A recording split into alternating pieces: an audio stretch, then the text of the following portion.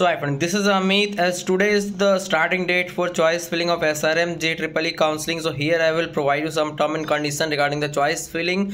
That, uh, so first of all let me inform you at 1 pm the choice filling will start from today and up to tomorrow 11 pm you will able to do the choice filling so do it very carefully because there is only one choice to fill and once you get the allotment after uh, that is on 6th of uh, uh, july thereafter you need to make the payment up to 10th of july thereafter again one round will be done. That is second round. But if you will not get any seat in first round then only you will be eligible for the second round. If you will get the seat you want or not that doesn't matter. You have to pay the fee if you want to join. If you will not pay you will be out of the counseling process. So these are the rule that you need to keep in your mind. And while choice filling please make sure if you are sure about any branch then only try to fill it. Otherwise you may not get the seat or you will get very bad type of seat that is not required. So for that if you want my guidance you can contact me as i've guided lots of students for phase one also. As i'm guiding the student from last six year you can check the screenshot. There are lots of students like this who have got the seat in first phase and uh, in last six years with my guidance in srm and other counseling as well. So if you want you can contact me. There is a very very nominal charge for that